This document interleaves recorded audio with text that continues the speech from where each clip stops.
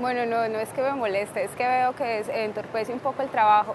Y cuando uno dice eh, escuchar a las comunidades, ellos tienen pues valores culturales del bosque y todo eso, y no implica que el manejo forestal como se concibe eh, no tenga en cuenta esos valores o algo así, ¿cierto? O que sea algo completamente distinto. El hecho es que debería ser eh, como concesiones, como hacer aproximaciones graduales para las comunidades, que ellos puedan ir eh, como paso a paso y no que se les hicieran las exigencias todas de una vez.